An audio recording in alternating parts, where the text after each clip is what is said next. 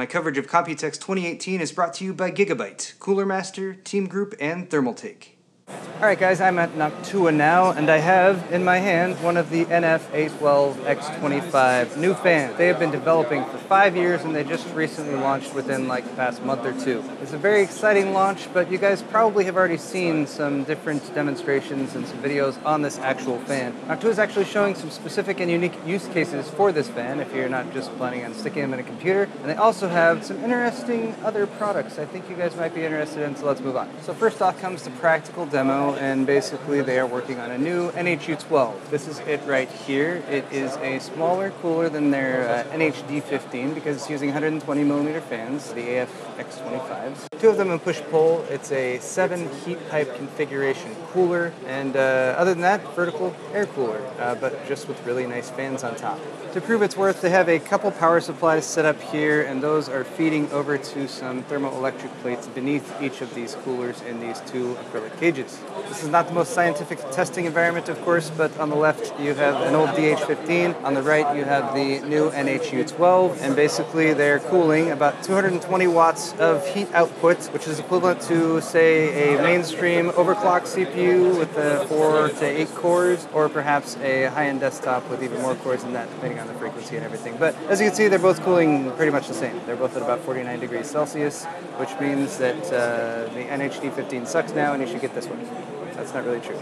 NHD15 is still awesome, but now available in a much smaller, more compact size with better fans. Now, the A12X25 fans were in development for five years, and they have a unique material that the fan blades are made of, and they're very fancy. So they do cost a decent amount. They're about 30 US dollars or 30 euros if you're in the EU. But two of those plus the cooler is probably going to be around $100, which is about 10 bucks more than the NHD15, but you get equivalent cooling and a more compact size. So get what you pay for. Now, LGA 3647 is uh, Intel's Xeon platform. So I brought Jacob over here because he was giving me an explanation. Now, recently Intel teased a 28 core, 56 thread processor, and uh, I showed a video where we actually got a look at the platform. You were able to see that it's an LGA 3647 motherboard. And LGA 3647 is a Xeon platform, it's, it's uh, made for enterprise use. And Jacob was explaining to me installation of a CPU on that platform because there has been some skepticism. If you guys saw the Gamers Nexus video, there's some definite skepticism as to if Intel is going to be able to bring this product to market as they have promised this year, at least in the form factor that they have demonstrated here at Computex. So Jacob is going to real quickly give us an explanation of how you install one of these processors in LGA 3647. Yes, as Paul has said, um, uh, this socket has been designed for enterprise level um, system assembly, so it's very quick and efficient for um, large volume uh, system integrators. If you're in assembling individual system, things are a little bit more tricky, and there are a couple of things you need to take care of. First of all, you'll have to clip the CPU into this, um, uh, Intel calls it a processor clip, and you'll have to make extra sure that these little plastic catches yeah. firmly snap onto your CPU and that the clip is really uh, fully snapped onto the CPU. Because the next step that you have to do is put the CPU with the clip onto your cooler, snap it onto the cooler, it will actually latch to the mounting parts you can see here. And um, once this is done, you will put the whole thing onto the motherboard and fix it with four screws. Now that sounds pretty straightforward, but at that point you will really have to make double sure that the CPU is firmly snapped to the processor clip because otherwise you have the risk that the CPU could fall down and fall into the socket, which could damage the socket and uh, as the LGA 3647 motherboards tend to be very expensive, this is something you would want to avoid at all costs. Yes, because damaging pins on a three, four hundred dollar plus motherboard is not a good time. And a company like Intel would want to make sure that they're at least making an attempt to minimize RMAs and returns for that kind of experience. Now, when Threadripper came out with the TR4 socket, I was pretty excited because it was a little bit more of an advanced installation method. There's a few details you need to pay attention. But in this case, you're actually clipping the processor to the cooling solution and then dropping it into the socket. And it just seems like there might be some potential for end users to damage it, so possibly not the most user friendly solution.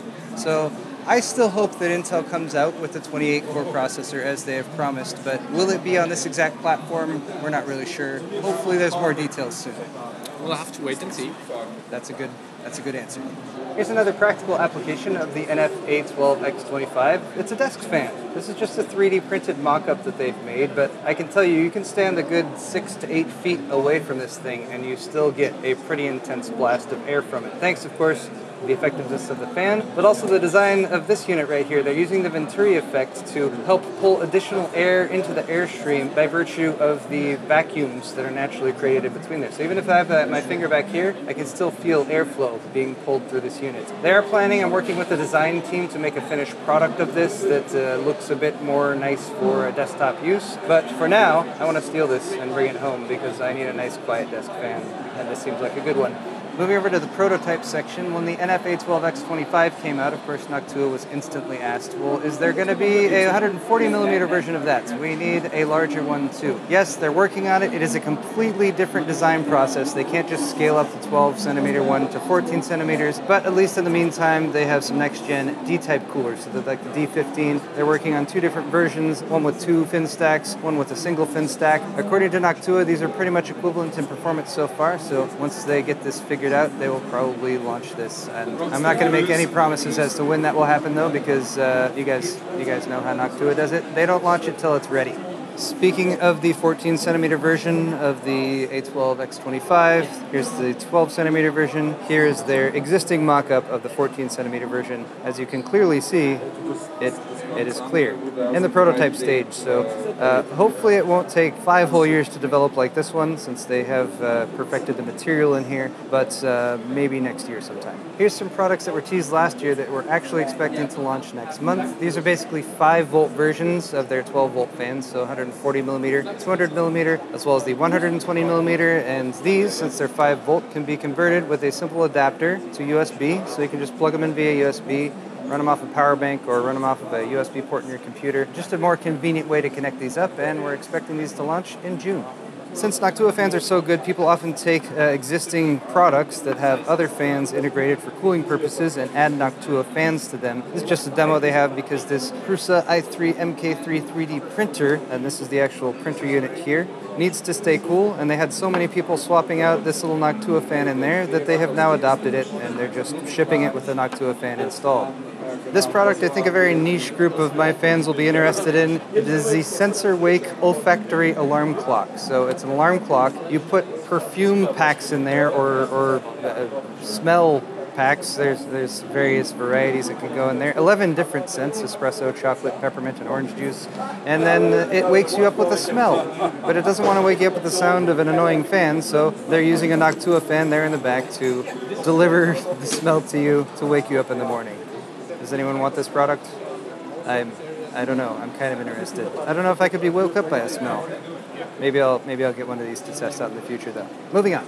Just a few more products to share here. This is in development but should be out later this year. From the Redux line, this is an NHU12. Sort of a redesign of this product. It's still, still using the NFP12 fan on there, but it's available in the Redux colors of uh, sort of a lighter and darker gray. Tower style air cooler with four heat pipes, so the cooling isn't going to be quite as crazy good as some of their higher end coolers, but this one's only going to cost about 40 bucks. They're also considering some top plates on there to uh, keep things looking pretty, and they even have a bracket that could go across the top potentially, so a similar setup to their Chromax line.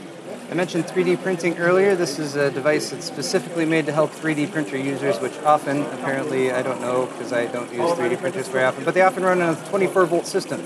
Uh, so this is just a 24 volt to 12 volt DC to DC step down converter.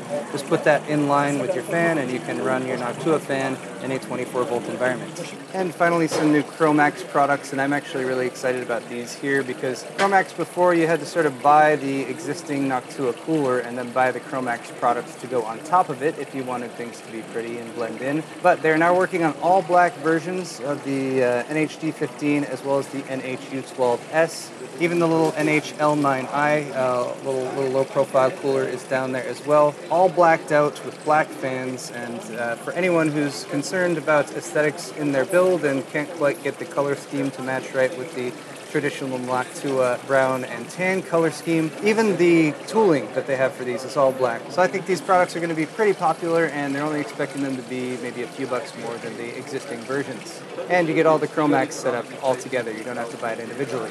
But guys, that's going to wrap it up for my coverage here at the Noctua booth at Computex 2018. I'd like to, of course, say a big thank you to my sponsors for this event, Thermaltake, Cooler Master, Gigabyte, and Team Group. Uh, also, thanks to you guys for watching and hit the thumbs up button if you enjoyed this video. Maybe subscribe too, because I got more Computex videos coming at you real soon. We'll see you in the next one.